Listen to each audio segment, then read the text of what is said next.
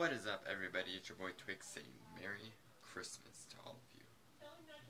So I got Christmas, and then got some new Blu-rays, which I'm going to show you guys, and a new Blu-ray update coming soon.